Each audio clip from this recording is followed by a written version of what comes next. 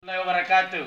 Saya karyawan Pandawa 5 Macopo Kecamatan Segeri menolak ujaran kebencian dan berita bohong atau hoak serta mendukung pemilu tahun 2019 dengan aman, damai dan sejuk. Indonesia!